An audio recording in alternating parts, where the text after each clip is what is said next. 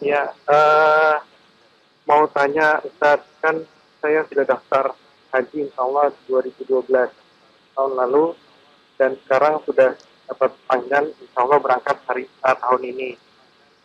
Tapi yang mau saya tanyakan, saya masih ada uh, riba waktu itu belum belum mengerti masih ada cicilan rumah Ustaz. Hmm. Uh, sampai sekarang ribanya masih berlanjut cicilan rumah, riba cicilan rumah. Uh, gimana terhadap keberangkatan haji saya? Mohon pencerahannya Ustaz. Allah Fik. Ini riba Anda tidak ada hubungan dengan ibadah haji Anda.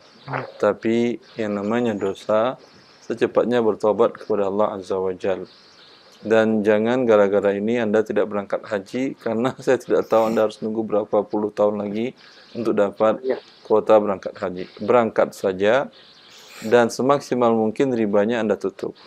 Harus umpamanya Anda karena Anda berangkat haji akan beribadah berarti dan di dan namanya bertobat kepada Allah setiap saat pun dianjurkan dan diharuskan apalagi ketika Anda akan melakukan ibadah-ibadah yang mulia.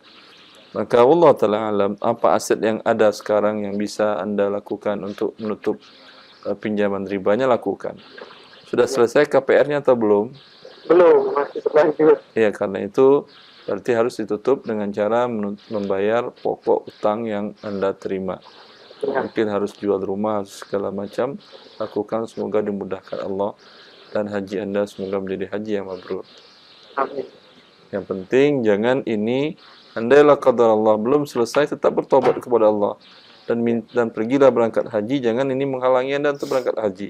Nanti di, wak- di tempat-tempat masyair, tempat-tempat yang mustajab, minta kepada Allah agar Allah mudahkan Anda untuk melepaskan dan selamat dari riba. Ya, amin. amin. Allah barik. Ya, terima kasih Ustaz. Assalamualaikum Ya, warahmatullahi wabarakatuh. Assalamualaikum warahmatullahi wabarakatuh. Assalamualaikum warahmatullahi wabarakatuh. Jazakumullah khairan. Barakallah fiik.